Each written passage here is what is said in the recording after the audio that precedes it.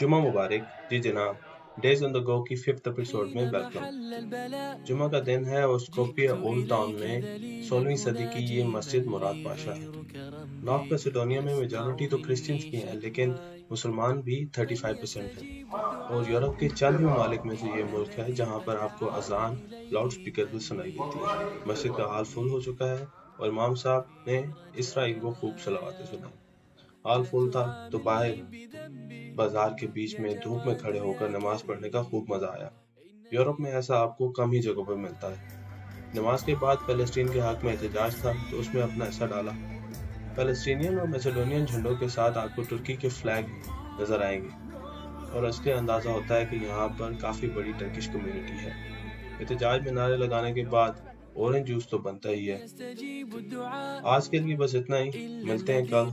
खुदा हाफिज।